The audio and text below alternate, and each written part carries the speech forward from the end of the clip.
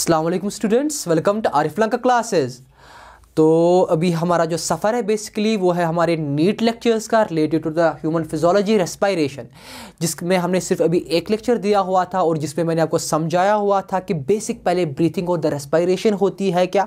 उसके बाद मैंने आपको उसमें पूरा कंप्लीट करके दिया कि different respiratory structures in the different animal kingdom जो आराम से वहाँ पर नीट के एग्ज़ाम में आपको वो वाले क्वेश्चन फ्रेम हो सकते हैं। तो हमने वो सारे रेस्पायरेटरी स्ट्रक्चर्स कहाँ तक कंप्लीट किए हुए थे? मतलब वो हमने एनिमल किंगडम्स के वो सारे देखे, लेकिन कहाँ तक किए हुए थे? हमने वो देखे थे रेप्टाइल्स बर्ड्स भी हमने इनफैक्ट कंप्लीट किया हुआ था। तो लास्ट का जो हमारा था, वो क्या था?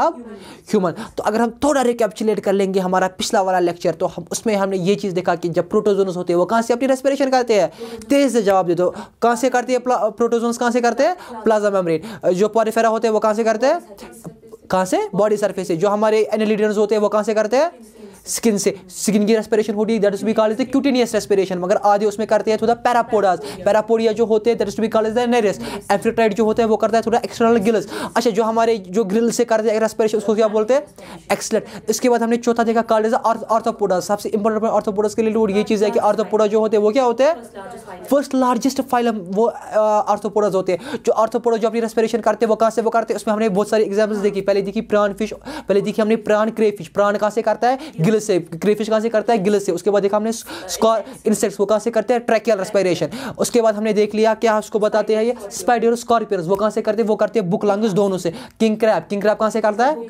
तेज तेज बता दो। इसके बाद हमने मोलस्कस देखे। Molluscs basically second largest phylum होता है। जो मोलस्कस में होता हमारा यूनियो होते हैं वो कहाँ से करता है? गिल से. शाबाश। पोलियो कहाँ से करता है?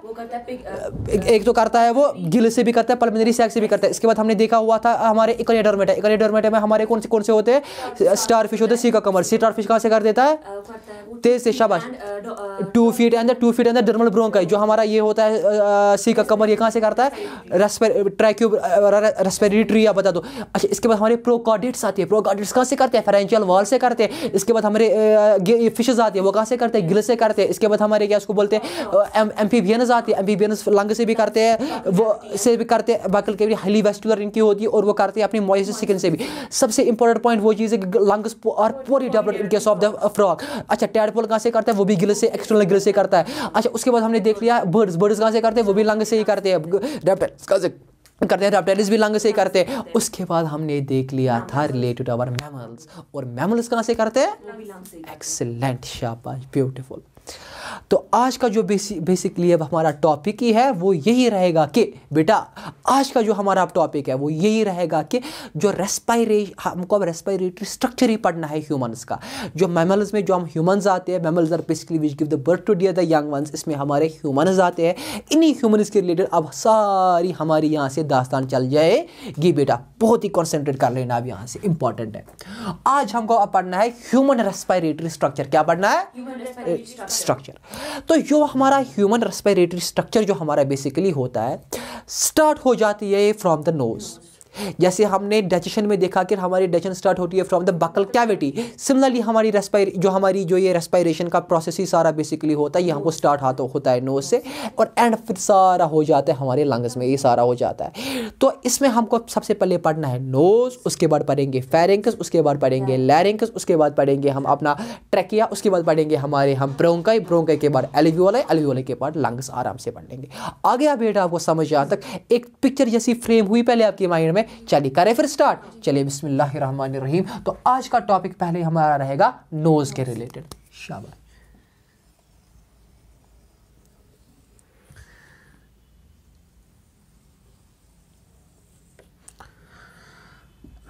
नोज़ अगर बेटा अब हम अपने नोज़ के रिलेटेड बात कर लेंगे तो ये जो हमारी नोज़ होती है it is basically divided into the two portion external portion और इंटरनल पोर्शन यानी इसमें हमारे दो पोर्शन आते हैं। एक आता है एक्सटर्नल पोर्शन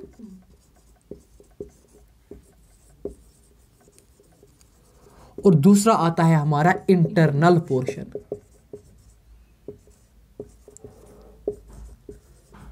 एक्सटर्नल पोर्शन और इंटरनल पोर्शन पहले हम अपने एक्सटर्नल पोर्शन के रिलेटेड ही बात कर लेंगे बेटा एक्सटर्नल पोर्शन हमारा नोज़ का हुआ जो आराम से हमको विजिबल होता है। क्या होता है? Visible so external portion is basically पहला ही पॉइंट इसमें है ये चीज़ की ये बेसिकली हमारा विजिबल पोर्शन होता है। क्या होता है बेटा? ये हमारा विजिबल पोर्शन होता है। एक्सेलेंट शाबाश। ठीक है बेटा? ये जो हमारा विजिबल पोर्शन होता है it is basically covered with the bones sorry it is basically covered with the muscle and the skin covered किससे होता है? शाबाश। It is covered with cover हुआ होता है एक मसल से प्लस स्किन से। मसल्स और स्किन से। एंड कंटेनर्स इसमें होता क्या है? इसमें हमारी बोन होती है प्लस हमारी कार्टिलेज होती है। बोन प्लस कार्टिलेज होती है। आ गया बेटा बेटा समझ जान तक क्या मैंने बोला? मैंने बोला नोज़ में दो पोर्शन होते हैं। एक को बोलते हैं एक्सटर्नल पोर्शन दूसरे को बोलते हैं इंटरनल पोर्शन एक्सटर्नल पोर्शन हमारा विजिबल पोर्शन होता है। ये बेसिकली कवर्ड होता है मसल से और स्किन से, जैसा कि आप देखते हो एपिडर्मल लेयर ऊपर से होती है। तीसरा चीज़ ये चीज़ होता है कि इसमें हमारी बोन आती है और इसमें विजिबल पोर्शन में बेसिक अब नहीं बोलना अंदर से, क्योंकि अंदर से पहले ही मैंने बोला ना कवर्ड है ही, है ये मसल्स और स्किन से। और बोन और द कार्टिलेज हमको यहाँ पर होती है। अब बताओगे आप सर हमको बता दीजिए, जो यहाँ पर हमारे बोनस होती है, वो कौन कौन सी होती है? तो समझ लो बेटा। नाक में जो हमारी बोनस होती है वो तीन किस्मों की होती है। एक को हम बोलते हैं एज फ्रंटल बोन क्या बोलते हैं? फ्रंटल बोन दूसरी होती है that is to be called as nasal bone क्या होती है? नेजल बोन तीसरी जो होती है that is to be called as maxilla क्या बोलते हैं उसको? मैक्सीला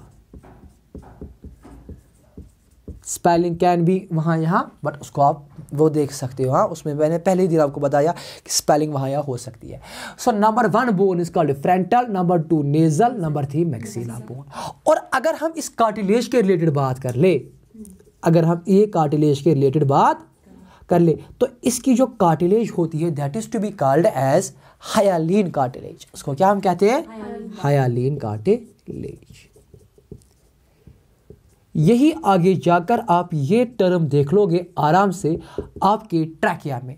क्योंकि जो हमारा ट्रैकिया होता है, उसमें भी रिंग्स होती है इनकम्प्लीट सी शेप्ड रिंग्स वहाँ पर जो होती है, वहाँ पर भी जो कार्टिलेज सिक्सटीन टू ट्वेंटी होती है, जो सपोर्ट सेमी रिजिड सपोर्ट देता है हमारे ट्रैकिया को दो cartilaginous rings are basically also called as hyaline cartilages उनको भी हम क्या बताते हैं? हयालीन कार्टिलेजेस बड़े आगे एक्सेलेंट ये तो हमारी बात थी, ये तो हमारे कुछ अल्फाज थे related to external portion but अब हमको बात कर लेंगे इंटरनल पोर्शन के रिलेटेड क्या आपने यहाँ तक पहले अच्छे से कॉपी कर दिया? क्योंकि इसके बाद मैं ये बोर्ड ड्रॉप कर लूँगा। तो स्टूडेंट्स अगर आपको भी यहाँ तक स्क्रीनशॉट उठाना होगा, वो आप आराम से उठा सकते हो कि मैं आपको साइड में रह सकता हूँ। शाबाश। So this completes my, this completes my external portion of the nose. Now moving to the internal portion.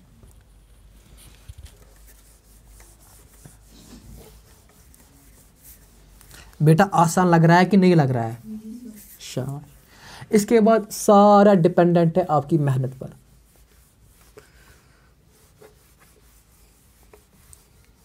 इसके बाद सारा डिपेंडेंट है आपकी मेहनत पर। एक तो मेहनत पर और आपकी फिजिक्स केमिस्ट्री पर। अब है इंटरनल पोर्शन अगर बेटा मैं अपने इंटरनल पोर्शन की ओर बात कर लूँ किसकी पोर्शन की ओर? मेरा इंटरनल पोर्शन जो बेटा मेरा होता है यहाँ पर मेरी एक नेजल सेप्टम होती है। क्या होती है? जो नाक को डिवाइड करती है दो हिस्सों में। एक को हम बोलते हैं राइट नेजल चैम्बर दूसरे को बोलते हैं लेफ़्ट नेजल चैम्बर तो अगर सवाल नीट के एग्ज़ाम में ऐसे आएगा which divides the nose into the two chambers आपका आंसर क्या होगा?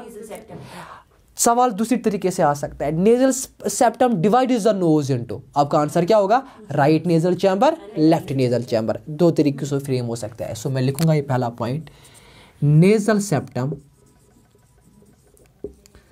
nasal divide divides nose internally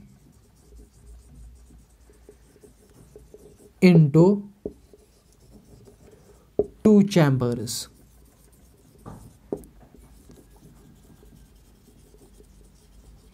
Namely, अब मैं पूरा नाम नहीं लिखूँ, मैं लिखूँगा right nasal chamber R N C and left nasal chamber देखो स्टूडेंट्स आप मतलब फिर यहाँ पर कंफ्यूज हो जाओगे, आप भी देखना। आर एन सी का मतलब ही है right nasal chamber and left L N C का मतलब है लेफ़्ट नेजल चैम्बर। इसका मतलब है, यहाँ पर आपका नेजल चैम्बर नेजल सेप्टम है। यहाँ से आपका राइट नेजल चैम्बर आएगा और यहाँ से आपका लेफ़्ट नेजल चैम्बर आ जाएगा। क्या यहाँ तक बेटा पूरा, आपको पहले पूरा अच्छे से समझ तक यहाँ तक आ गया? शाबाश। अगर मैं अब इस राइट नेजल चैम्बर की बात कर लूँ, R N C, right nasal chamber. इसमें हमारे तीन पोर्शन आते हैं। क्या आते हैं बेटा? तीन पोर्शन यहाँ से हम इसको ऐसे कर लेंगे और यहाँ पर मैं डिफाइन कर लूँगा तीनों पोर्शन पहले पोर्शन को हम बोलते हैं एज लोअर पोर्शन क्या बोलते हैं? लोअर पोर्शन जो ये right left nasal right nasal chamber होता है तीन पोर्शन में ये डिवाइडेड होता है। एक को बोलते हैं लोअर पोर्शन ये जो मेरा लोअर पोर्शन होता है तीनों पोर्शन में पढ़ाऊँगा पहला है लोअर पोर्शन लोअर पोर्शन जो मेरा होता है it basically consist of nasal hairs क्या होते हैं वहाँ पर? जो ना नाक की बाल जिनको हम बोलते हैं. एक तो वहाँ पर नेजल हेयर्स होते हैं. ठीक है बेटा? और वहाँ पर आपके स्वेट ग्लैंड होते हैं. वहाँ पर आपके स्वेट और तो वहाँ पर आपके ऑयल ग्लैंड्स भी देखे देखे गए होते हैं। बैटरी का इशू है थोड़ा, एक मिनट आप रुक लो।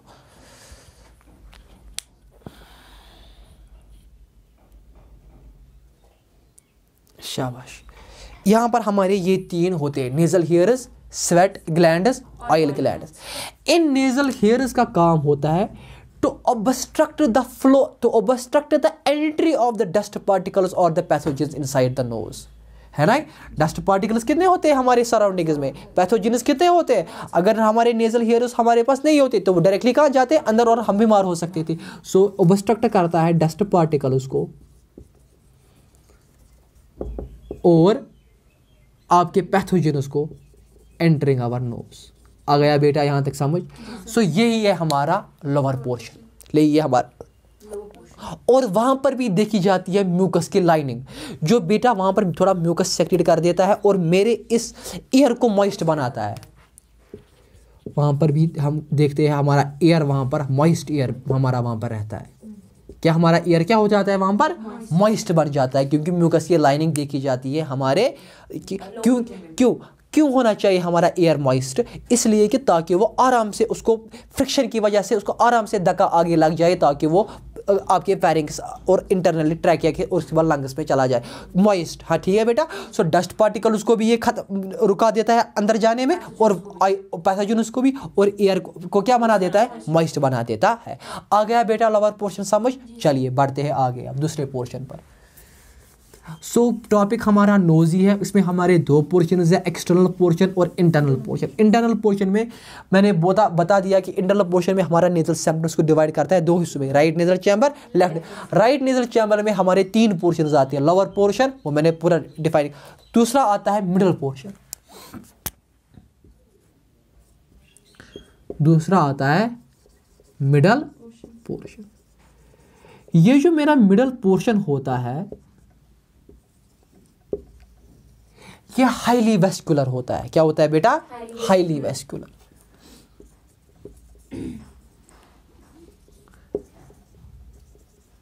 हाईली वेस्कुलर यानी हाईली वेस्कुलर का मतलब बेटा ये है कि ब्लड फ्लो वहाँ पर बहुत ट्रमंडस होता है। हाई होता है ब्लड का फ्लो हाईली वेस्कुलर का मतलब ही क्या है? ब्लड फ्लो क्या होता है वहाँ पर? बहुत ज़्यादा. इसलिए हम बोलते हैं कि अगर गलती से भी हमारी नाव को लग जाती है। हाँ कोई तुम, कोई मुका मारता है ना नाव को, या गलती से लग जाती है तो वहाँ से खून नाक से जल्दी आ जाता है। क्यों? क्योंकि ये पोर्शन ये हाईली वेस्कुलर होता है। सिमिलरली जिस पेशेंट का ब्लड प्रेशर बहुत ही हाई होता है that is again the basically the flow of the blood जो उसकी बॉडी में है, वो बहुत ही हाई है, और देखा जाता है कि नोज़ ब्लीडिंग उसकी हो जाती है। क्या हो जाती है? क्योंकि जो उसका ब्लड प्रेशर होता है, वो बहुत ही हाई होता है और नाक फिर उस प्रेशर को वहाँ पर एब्जॉर्ब नहीं कर पाती है, बर्दाश्त नहीं कर पाती है, जिसकी वजह से हमारी नोज़ से ब्लीडिंग हो जाती है। ठीक है बेटा? एक्सेलेंट और यही रीज़न है। हमारा जो एयर होता है मॉइस्ट तो बना लिया उसको लवर रीजन ने। इस एयर को तो वार्म भी होना है। क्यों होना है warm excellent in order to meet our body temperature और उस एयर को वार्म यही बनाता है। मिडल पोर्शन सो एयर को क्या बनाता है? वार्म बनाता है. आया बेटा आपको समझ? पूरी तरीके से. सो so, हम पढ़ रहे हैं इंटरनल पोर्शन इसमें हमारे पास आता है तीन पोर्शन लोअर पोर्शन वो भी इलाबरेट कर दिया मिडल पोर्शन वो भी इलाबरेट कर। अब इसमें लास्ट पोर्शन आता है जिसको हम बोलते हैं एज अपर पोर्शन तो यहाँ तक हमने नोट कर दिया। आई होप स्टूडेंट्स आपने भी ये नोट किया होगा। अगर आपको स्क्रीन भी उठाना होगा आप आराम से वो उठा सकते हो। ना moving to our upper portion excellent जो हमारे आ गया समझ आपका सवाल। जो बॉडी बिल्डर्स होते हैं जब वो बेटा बॉडी को वेट को लिफ्ट कर देते हैं तब भी उनके शरीर पर एंड उनकी जो मतलब नर्व जो उन पर होती है उन पर भी बहुत ज़्यादा दबाव पड़ता है। क्या बढ़ता है उन पर? दबाव। प्रेशर बहुत पड़ता है जिसकी वजह से प्रेशर ब्लड का बहुत ही ट्रमंडसली हाई हो जाता है और वहाँ पर भी उनके नाक से खून आ जाता है। तो वो कभी कभी वो प्रोटीन्स खाते हैं कभी स्टेरॉइड्स वगैरह वो सब चीज़ें लेते हैं? That is not you are taking off the steroids is not basically related to your anything it has not interfere with the nose bleeding आपके steroids they will directly effect your kidneys क्यों? क्योंकि the concentration of the nitrate जो आपकी steroids बनाते हैं, वो बहुत ही ज़्यादा बनाते हैं। लिवर भी उसको अब वो लिवर को भी डैमेज कर सकते हैं, क्योंकि लिवर उतनी डिटॉक्सिफिकेशन नहीं कर सकता है, और जिसकी वजह से आपकी किडनी जो है, वो ख़राब हो सकती है। हाँ but gym trainer will advise you to take the gym trainer will advise you to take the plenty of the fluids but देखा जाता है कि नेचुरल बॉडी नेचुरली होती है स्टीरॉयड बॉडी उसको आर्टिफिशियल बॉडी कहते हैं। वो आपकी सेहत के लिए अच्छी आपको मेरी बात बेटा समझ में आ गई? और याद रख लेना जितना जितना फिर आप उस स्टीरॉयड से प्रोटीन ज़्यादा ले जाओगे the concentration of that protein is inversely proportional to the concentration of the calcium in your bones जितना आप वहाँ पर प्रोटीन उसको ज़्यादा इनटेक कर लोगे, उस हिसाब से। I am not talking of the natural I am talking of the artificial उतनी कैल्शियम की डेंसिटी आपकी बोन्स में ज़्यादा हो जाएगी and ultimately at the end you are going to suffer from a disease called as the osteoporosis that is the deficiency of the vitamin D in your body calcium ही नहीं रहेगा तो कहाँ से? ये विटामिन डी कैल्शियम ही नहीं है तो विटामिन डी कहाँ से पैदा हो जाएगा? तो उसके बाद आपके जो है, आपके बोनस होते हैं, वो वीक हो जाने लगते हैं बेटा। आ गया समझ? शाबाश।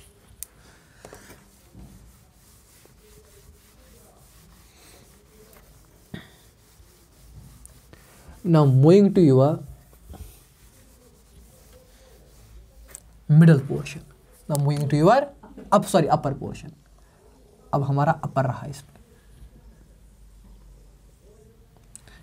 अपर रीजन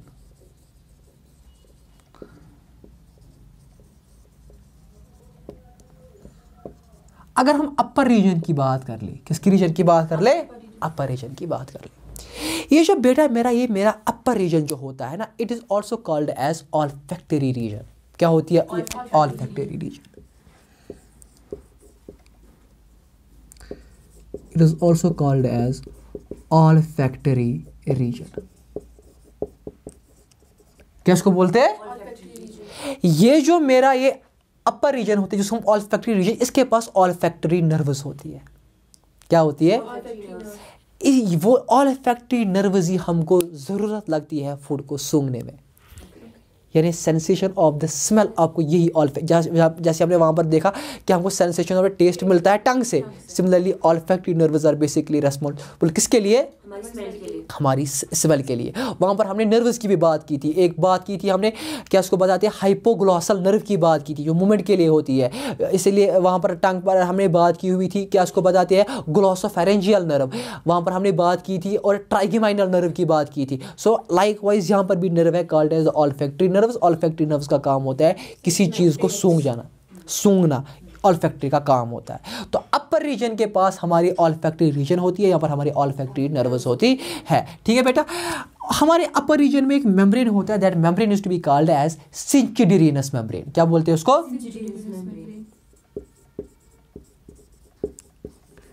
सिंचडेरियनस मेम्ब्रेन ठीक है बेटा? ये सिंचडेरियनस मेम्ब्रेन जो हमारा होता है इसमें हमारी तीन चीज़ें आती है। क्या आती है? तीन चीज़ें। तीन चीज़ें। एक को हम बोलते हैं एज बोमेनस ग्लैंड क्या बोलते हैं? बोमेनस ग्लैंड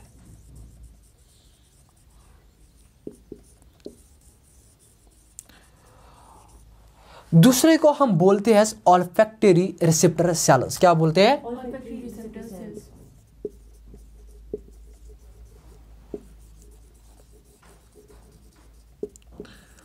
और तीसरे को हम बोलते हैं एज बेसल सेल्स क्या बोलते हैं?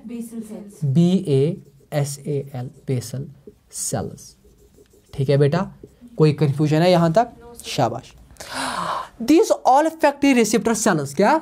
Olfactory O receptor O R C इनको हम क्या बोलते हैं? Olfactory receptor this are also called as bipolar modified neurons या आप बोलो मॉडिफाइड बाईपोलर न्यूरॉन्स इनको हम कहते हैं। क्या कहते हैं? मॉडिफाइड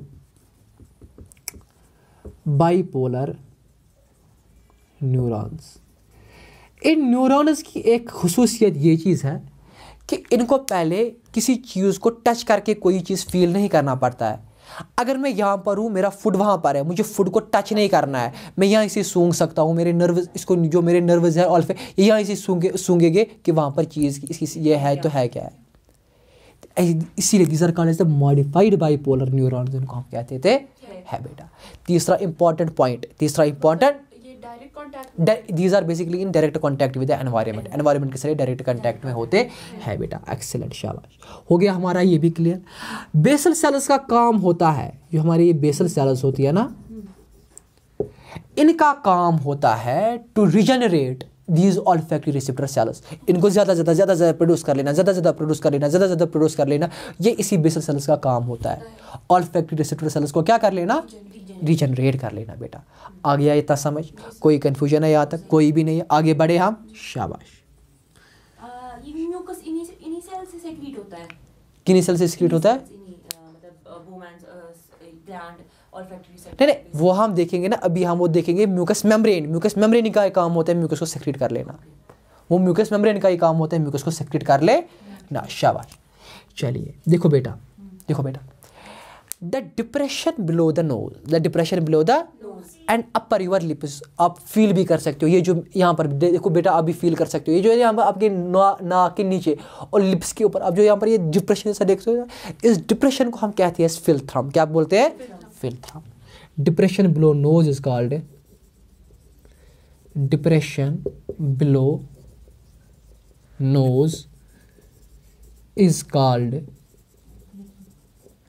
इसको मैं बड़ा लिखूँगा यहाँ पर ताकि आपको अच्छे से दिखाई दे philtrum P H I L thrum T H R U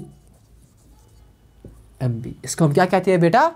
This to be called as basically the philtrum कभी कभार देखा गया है कि आपकी जो ये नोज़ होती है, इसकी प्लास्टिक सर्जरी करनी पड़ती है। क्या करनी पड़ती है? The plastic surgery of the nose is to be called as rhinoplasty उसको हम राइनोप्लास्टी के नाम से पुकारते हैं।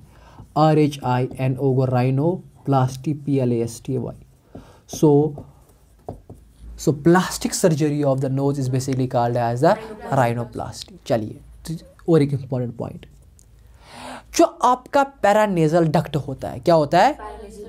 और जो आपका आपका लेक्रिमल डक्ट होता है। देखो पैरा मैं यहाँ पर आपको ये लिख लूँगा। Paranasal duct. Paranasal nasal duct plus. और जो लेक्रिमल डक्ट आपका होता है।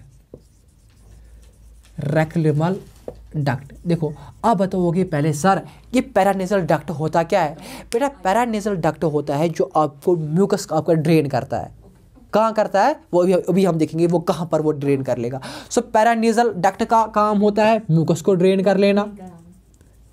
लैक्रिमल डक्ट का काम होता है आपके टीयर्स को ड्रेन करवाना जो आपको आँख से वो टीयर्स अंदर से आ जाते हैं। टीयर्स का टीयर्स को ड्रेन करवाना। कहाँ करवाएँगे ड्रेन इन दोनों चीज़ों को? इनटू योर इंटरनल नोज़ कहाँ पर? इंटरनल नोज़ के पास। सॉरी कि यहाँ पर जगह कम है। इंटरनल नोज़ के पास। बट ऑरली तो भाई आपको ऑडिबल आराम से होगा यहाँ पर आपको समझ में आता होगा कि पैरानेजल डक्ट और लैक्रिमल डक्ट पैरानेजल डक्ट का काम होता है म्यूकस को ड्रेन कर लेना लैक्रिमल डक्ट का काम होता है टीयरस को ड्रेन कर लेना। कहाँ पर ड्रेन करवाता है? हमारे इंटरनल नोज़ के पास ड्रेन करवाता है। आया बेटा समझ? कोई कन्फ्यूज़न यहाँ तक? पॉइंट एक हमको पॉइंट एक या दो हम और पढ़ लेंगे नोज़ के रिलेटेड इतना आपको नोज़ के रिलेटेड काफ़ी। है शाबाश। देखो बेटा। ये जो हमारा ये जो हमारी जो ये नोज़ होती है कभी नोज़ से ब्लीडिंग हो जाती है। नोज़ ब्लीडिंग जिसको हम बोलते हैं ठीक है बेटा? This nose bleeding is to be called as epistaxis उसको हम क्या बोलते हैं? एपिटैक्सिस एपिटैक्सिस इसको हम बताते हैं। और एक इंपॉर्टेंट पॉइंट नोज़ के रिलेटेड वो ये चीज़ है कि अल्टीमेटली नोज़ को अंदर से किसके साथ कनेक्ट हो जाना है? इंटरनोस्ट्रल्स के साथ। तो वो कहाँ से कनेक्ट हो जाएगा उसके साथ? या हम बोलते हैं नेजो फेरिंग्स इसको अंदर फेरिंग्स के साथ। हम नहीं बोलेंगे इंटर हम बोलेंगे नाक का अल्टीमेट या इंटरनल नॉस्ट्रल्स का या नोज़ का अल्टीमेटली किसके साथ कनेक्ट हो जाना है? फेरिंग्स के साथ। That structure is to be called as choanae what is that structure called as? Koine. koine so koine is a structure that internally connects the nose with pharynx. Nose को connect करवाता है किसके साथ? Pharynx के साथ. That is to be called as choanae उसको हम क्या बोलते हैं? तो बेटा इतना आपको पूरी सफिशेंट इंफॉर्मेशन है रिलेटेड टू योर नोज़ जो कि आपके नीट के एग्ज़ाम में फ्रेम हो सकता है बेटा. आ गया पूरी तरीके से नोज़ समझ? कोई डाउट नोज़ के रिलेटेड सर जब हमें साइनसेस जमा हो ऑक्सीलेंट एक्सीलेंट शाबाश ओके एक सॉरी ये बेटा ये पॉइंट में आपको बोल गया था हमारे बताना। चलिए। हमारी जो नोज़ होती है ना इसके अंदर हॉलो स्पेसेस होती है। क्या होती है नोज़ के रिलेटेड हॉलो स्पेसेस होती है हमारे नोज़ के रिलेटेड हॉलो स्पेसेस उन हॉलो स्पेसेस का काम होता है वहाँ पर वो खाली होती है वहाँ पर हमारा सिर्फ़ ईयर होता है। कभी इनमें म्यूकस जमा हो जाता है। क्या होता है? जमा? म्यूकस जमा। And that is to be उसी को हम बोल उस कंडीशन को बोलते हैं साइनसिस क्या बोलते हैं? साइनसेस साइनसिस जब कभी म्यूकस इतना जमा हो कि आपको डिफ़िकल्टी है ब्रीथ कर लेने में और आवाज़ में भी आपको खास आवाज़ नहीं आ रही है and that is disease that disease is to be called as rhinosinusitis को हम क्या कहते हैं? तो है? राइनोसाइनोसाइटिस इनहेलर का काम ही बेसिकली होता है इसी म्यूकस को वहाँ पर थिन कर लेना।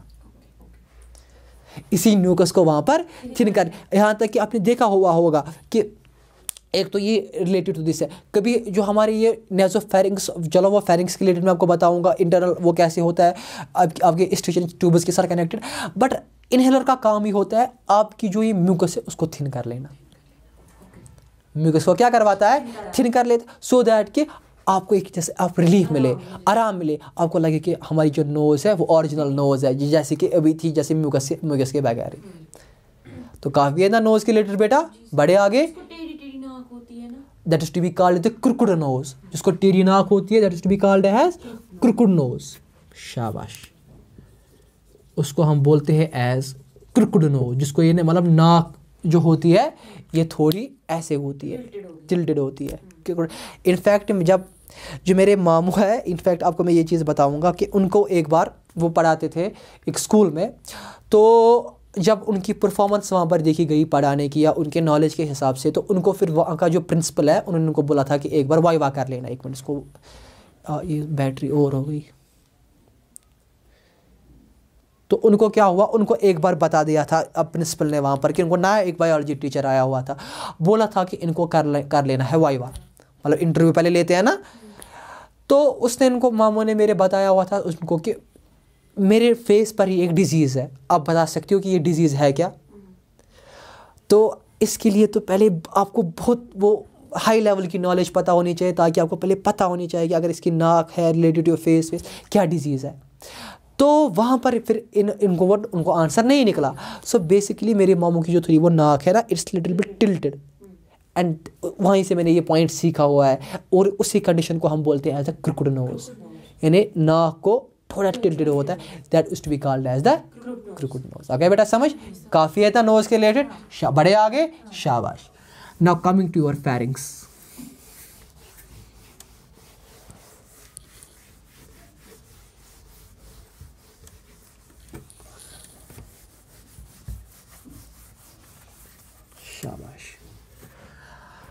pharynx की अगर हम बात कर ले तो ये हम, ये आपने वैसे डाइजेशन में भी बहुत अच्छे से पढ़ा हुआ था। मुझे यहाँ पर फेरिंक्स को कुछ भी ज़्यादा इलाबरेट करने की ज़रूरत नहीं है। बस एक दो पॉइंट इसमें बताऊँगा। फेरिंक्स है क्या बेसिकली यही पॉइंट मैंने, देखो, यहाँ पर मैं आपका टाइम ज़ाया नहीं करूँगा लिख कर फेरिंक्स ये मैंने पूरा डाइजेशन में आपको समझा दिया था। फेरिंक्स जो मेरा होता है, इसका काम ही होता है। It is basically the passage for the full it is basically the passage for the food and the air यहाँ से आपका फ़ूड अगर होगा तो चला जाएगा कहाँ पर? इसोफेगस में, वहाँ से चला जाएगा स्टोमक में।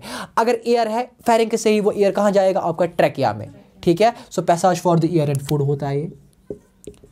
Passage for food and air अगर मैं इसी फेरिंग्स के रिलेटेड बात कर लूँगी, इसकी जो सेंटीमीटर होती है इसकी जो लेंथ होती है it is fifteen centimeter it is a tube like structure it is a tube like जो होता है at the back of the buccal cavity कहाँ पर होता है? Back of buccal cavity back of अब एक इंपॉर्टेंट पॉइंट इस फेरिंग्स के रिलेटेड जो एग्ज़ाम में आ सकता है कि फेरिंग्स किन मसल्स का बना हुआ है? At that time your answer should be skeletal muscles pharynx किन मसल्स का बना हुआ होता है? Skull which are the voluntary muscles बस इतना काफ़ी है आपके फेरिंग्स के रिलेटेड और फिर हमको पता है, जो मैंने और डाइजेशन में पढ़ा है कि फेरिंग्स के तीन हिस्से हैं। एक हो गया नेजो फेरिंग्स दूसरा हो गया आपका और फेरिंग्स तीसरा हो गया laryngopharynx ultimately laryngopharynx किसके साथ मिल जाएगा? वहाँ पर मैंने बताया हुआ था आपको नेजो फेरिंग्स में सीरिया होते हैं जो मुकस को नीचे यहाँ वहाँ पर अगर इतना मैं यहाँ पर मैं आप डिफाइन करने बैठूँ तो ये टाइम ज़ाया हो जाएगा आपका। सिमिलरली वहाँ पर मैंने पढ़ाया हुआ था आपको ओरोफेरिंग्स ओरोफेरिंग्स का काम बेसिकली होता है digestion the respiratory function laryngopharynx का भी काम होता है डाइजेशन एंड द रेस्पिरेटरी और लैरिंजो फेरिंग्स अच्छा और एक important point related to pharynx pharynx start कहाँ से होता है? एक्सेलेंट आ सकता है नीट में। स्टार्ट होता है इंटरनल नॉस्ट्रल्स के पास। और एंड कहाँ पर होता है? बोलो बोलो, एंड कहाँ पर होता है? हाँ? एक्सीलेंट शाबाश, किरकॉइड कार्टिलेज अब ऐसी मेहनत कर लो बेटा, ठीक है? किरकॉइड कार्टिलेज जो प्रेजेंट होती है ये ये लैरिंग्स का ऊपर वाला कार्टिलेज होता है किरकाइड कार्टिलेज ठीक है बेटा? एक्सलेट समझ में आ गया? आ गया समझ? ये वो डाल सकता है एग्ज़ाम में यहाँ पर। बाकी तो नेजो और और लैरिंजो मैंने पूरा आपको डिफाइन किया किया हुआ है। बड़े आगे? बड़े आगे? शाबाश। फ्रॉम द फेरिंग्स अब लैरिंजो फेरिंग्स को किस जो जो फेरिंग्स का तीसरा हिस्सा है लैरिंजो फेरिंग्स उसको किसके साथ मिलना है? एक्सेलेंट लैरिंग्स ही उठाएँगे अब शाबाश ब्यूटीफुल हम्म हम्म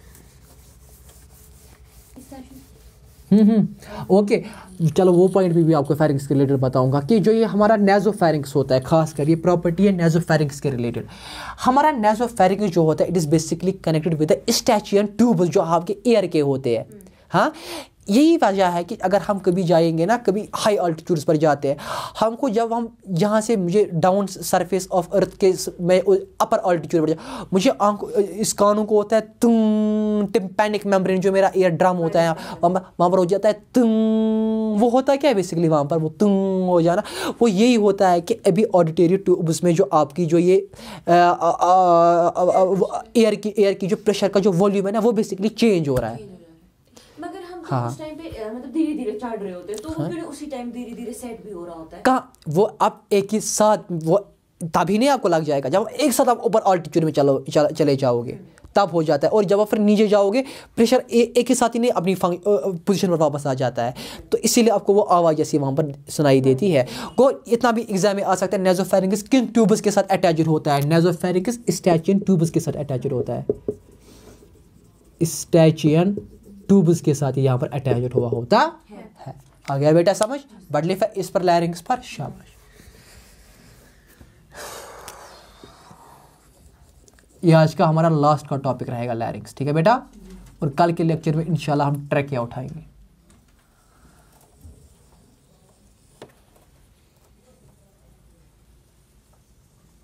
लैरिंग्स लैरिंग्स को हम साउंड बॉक्स भी कहते हैं। कहते है? कि नहीं कहती है बेटा? शाबाश दूसरा पॉइंट इस लैरिंग्स में हमारे पास दो वोकल कॉर्ड्स होते हैं। कितने होते हैं? टू वोकल कॉर्ड्स जब ये वो दो वोकल कॉर्ड्स वाइब्रेट करते हैं क्या करते हैं? वाइब्रेट करते हैं। तो उसी वजह से हमारी साउंड प्रोड्यूस हो जाती है। क्या हो जाती है? प्रोड्यूस साउंड प्रोड्यूस हो जाती है। कोई डाउट यहाँ तक? बड़े आगे होगी मेरी साउंड भी आराम से प्रोड्यूस शाबाश। ये जो मेरा लैरिंक्स होता है इसमें हमारे पास नाइन इसका जो वॉल होता है the wall of the larynx वो नीट में आएगा ये क्वेश्चन वॉल ऑफ़ लैरिंक्स जो होता है it consist of nine cartilages कितने कार्टिलेजेस नाइन कार्टिलेजेस इन नाइन कार्टिलेजेस में इन नाइन कार्टिलेजेस में थ्री अनपियर्ड होते हैं। थ्री क्या होते हैं? अनपियर्ड और तीन पियर्ड होते हैं। वही हुए छः छः और तीन हो गए नाव आ गया बेटा समझ। अगर हम तीन अनपियर्ड की बात कर ले तो यहाँ पर हमारे पास आएगा पहला ही cartilage that is to be called as thyroid cartilage sorry पहला कार्टिलेज इसमें आएगा आपका देखिए, इसमें अब जैसे आपके तीन कार्टिलेजेस आते हैं। एक आएगा थायराइड कार्टिलेज पहला ठीक है, शाबाश। थायराइड थायराइड कार्टिलेज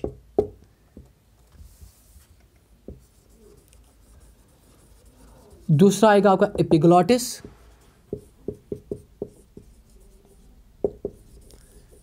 और तीसरा आएगा आपका किरकाइड कार्टिलेज पहले ये इन्हीं को डिफाइन कर लेंगे। किरकाइड कार्टिलेज अगर मैं थायराइड कार्टिलेज की बात कर लो so it is also called as Adam's apple इसी को हम एडम्स एप्पल कहते हैं।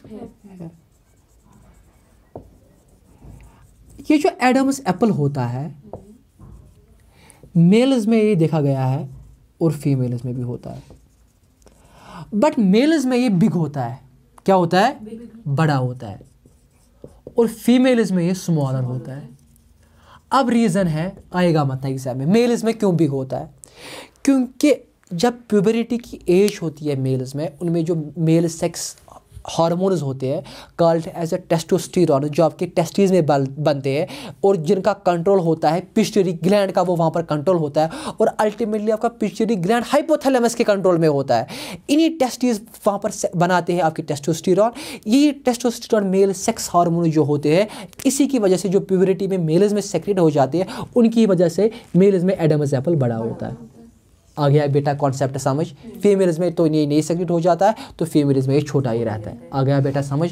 हो गया खत्म हमारा एडमस एप्पल यहाँ पर। चलिए, उठाए, उठाएँगे एपिग्लॉटिस ये भी मैंने डाइजेशन में पूरी तरीके से आपको कंप्लीट किया। कि glottis opening of the trachea is called glottis लेकिन एपी एपी वहाँ पर वो कार्टिलेज होती है, ताकि वो वहाँ पर ट्रैकिया के ऊपर बैठे, ताकि फ़ूड अंदर ना जाए। That is to be called epiglottis खत्म हो गया यही। सो एग्ज़ाम में आएगा which organ prevent the entry of the food into the trachea your answer should be epiglottis तीसरा हो गया किरकाइड कार्टिलेज वो भी अभी डिफाइन कर दिया मैंने, जो एक किरकाइड कार्टिलेज होता है, ये क्या होता है? जिस पर हमारा लैरेंजोफेरिंकस बैठता है, या it is the upper layer of the larynx यही मुझे कनेक्ट करवाएगा लैरेंजोफेरिंकस को अल्टीमेटली किसके साथ? ट्रैकिया के साथ। शाबाश। आ गया बेटा समझ। कोई डाउट है वहाँ पर? कुछ नहीं है। तो ये हुए तीन अनपियर्ड हुए क्लियर तीन अनपियर्ड अब आपको करनी है थ्री पियर्ड कार्टिलेजेस की। बात। आई होप कि आपने भी स्क्रीनशॉट उठाया होगा यहाँ पर। बस ना मूविंग टू लास्ट टॉपिक है अब यहाँ पर। तीन जो पियर्ड होते हैं।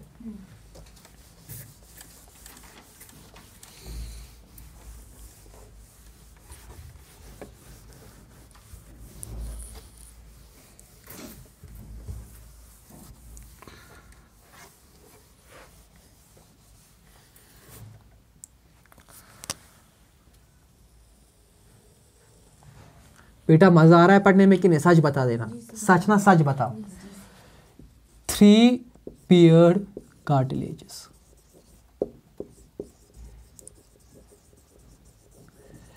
इन्हीं में आपका एक कार्टिलेज आता है that is to be called as arytenoid cartilage क्या बोलते हैं उसको? एरिथेनाइड कार्टिलेज दूसरा कार्टिलेज आता है इसमें that is to be called has cunei दूसरा जो एक तो एक तो इसमें आता है क्यूनिफॉर्म कार्टिलेज क्या आता है? क्यूनिफॉर्म कार्टिलेज क्यूनिफॉर्म कार्टिलेज और तीसरा इसमें आता है that is to be called as corniculate cartilage क्या आता है? कॉर्निक्यूलेट क्यूलेट कार्टिलेज बेटा। समझ में आ गया? ये जो मेरा एर्थेनाइड कार्टिलेज होता है it is, this cartilage is basically responsible for the vibration of the vocal cords. लिखा ये पॉइंट लिख लेना वहाँ पर। अभी स्टूडेंट्स लिख लेना। कि अर्थ एर्थेनाइड कार्टिलेज जो होता है this cartilage is basically responsible for the vibration of the vocal cords जिसकी वजह से vocal cords ultimately sound produce कर लेते हैं। जो मेरे ये वोकल कार्ड्स होते हैं ना, ये दो किस्मों के होते हैं।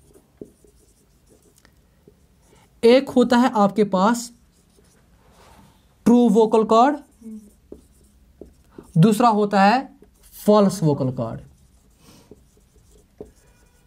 जो ये ट्रू वोकल कार्ड्स होते हैं ना यही बेसिकली इसको हेल्प करते हैं वाइब्रेट कर लेने में. और जो ये फॉल्स वोकल कार्ड होता है ना इसका काम होता है सिर्फ़ वोकल कार्ड को सपोर्ट कर लेना. ये वाइब्रेट नहीं कर ले. इसीलिए इसको फॉल्स पड़ गया नाम.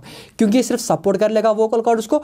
वोकल कार्ड्स वाइब्रेट हो जाते हैं due to the true vocal cords और करवाता कौन सा कार्ड कार्टिलेज है एरिथेनाइड कार्टिलेज आ गया बेटा समझ। मतलब हमारे लैरिंग्स में मतलब खाली यही दो वोकल कॉर्ड्स है बस उसमें खाली एक ही वर्क करती है मतलब एक ही वाइब्रेट करती है और एक सपोर्ट करती है। नहीं नहीं नहीं नहीं नहीं नहीं नहीं वो नहीं। दोनों वोकल कॉर्ड्स वाइब्रेट कर लेते हैं। उनको दोनों को सपोर्ट कौन कर लेगा? उनको फॉल्स वोकल कॉर्ड सपोर्ट कर लेते हैं। मतलब हमारे पास दो ट्रू वोकल कॉर्ड्स होते हैं। हाँ हाँ हम आप मान लो वो दो को हम एक ही नाम देते हैं। ओके। आ गया बेटा समझ? हम्म। शाबाश। क्यूनिफॉर्म कार्टिलेज जो हमारा हो this is also called as Wrisberg cartilage also called as Wrisberg cartilage ठीक है बेटा? It is yellowish in colour it is yellowish in colour इनका भी काम होता है ये साउंड में प्रोड्यूस कर, ये ना साउंड में हेल्प कर लेना, ये भी होते हैं इसी के साथ अटैच और आर्थेनाइड कार्टिलेज के साथ। जो ये corniculate cartilage it is also called as the elastic cartilage इसको हम क्या कहते हैं? इलास्टिक कार्टिलेज इसको हम कहते हैं इलास्टिक कार्टिलेज इसका भी काम होता है इन दोनों कार्टिलेजेस के साथ रहना क्योंकि अल्टीमेटली सपोर्ट करते हैं एक दूसरे को और फिर अल्टीमेटली हमारी साउंड प्रोड्यूस हो जाती है। आ गया बेटा समझ? कोई एक डाउट यहाँ पर। अब है लास्ट का एक इंपॉर्टेंट पॉइंट आपके लैरिक्स के लिए। इंपॉर्टेंट ये दो जो पॉइंट्स है ना, इसी पर मुझे लग रहा है इस साल जो मुझे गट फीलिंग आ रही है, अगर वो लैरिक्स पर क्वेश्चन डालेगा इन दो पॉइंट्स पर डालेगा। वो ये चीज़ है, रखो बेटा नज़र। The lining of the larynx the lining of the superior to superior arytenoid cartilage मैं लिखूँगा लाइनिंग किसकी? लैरिंग किसकी? कहा? सुपीरियर। किसके superior to? Arytenoid cartilage arytenoid cartilage that is non correct that is non keratinize stratified columnar squamous epithelium what is that मैं लिखूँगा non keratinize stratified squamous epithelium इस पर मुझे लग रहा है वो इस बार नीट में मतलब डालेगा यहाँ पर क्वेश्चन के। Lining of the larynx superior arytenoid cartilage किसकी लाइनिंग होती है? Your answer should be non keratinized stratified squamous epithelium और जो दूसरा क्वेश्चन वो वहाँ पर डाल सकता है। आपने यहाँ पर गैस कॉपी कर लिया होगा अब यहाँ पर ये। दूसरा इंपॉर्टेंट पॉइंट वहाँ पर that is lining of larynx. That is the lining of larynx, larynx. not this time superior inferior. To arachnoid cartilage. Arachnoid cartilage. That is non-ciliated. Sorry that is pseudo that is pseudo stratified ciliated columnar epithelium. That is pseudo stratified pseudostratified ciliated columnar epithelia